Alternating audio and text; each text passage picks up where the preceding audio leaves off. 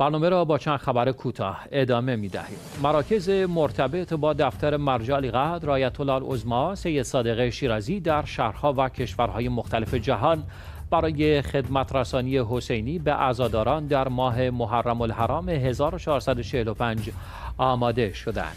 این مراکز طبق برنامه هر ساله خود در این ایام مشغول آماده سازی فضاهای مناسب با نصب پرچمهای سیاه اعضا برای برگزاری مجالس و مراسم عزاداری و تعظیم شاعر حسینی در ایام محرم الحرام هستند.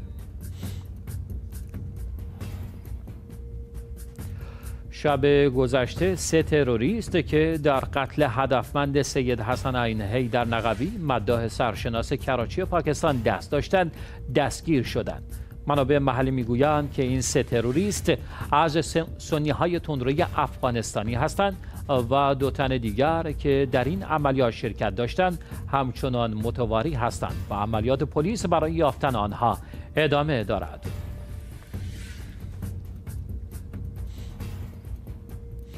با خبری از آفریقا. نیروهای مرزی لیبی دهها مهاجر را که بدون آب غذا و سرپناه در صحرا رها شده بودند نجات دادند.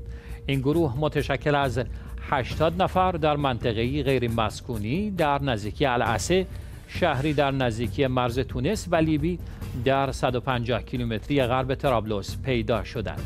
ماموران مرزی لیبی می‌گویند قبلا نیز گروهی از مهاجران شامل کودکان و زنان را در چند صد متری آن منطقه پیدا کرده بودند صدها نفر از کشورهای جنوب صحرای آفریقا پس از ناآرامی های نژادی در اوایل ژوئیه در شهر بندری سفاکس دومی شهر بزرگ تونس به زور به مناطق بیابانی و هممرز با لیبی و الجزایر منتقل شدند.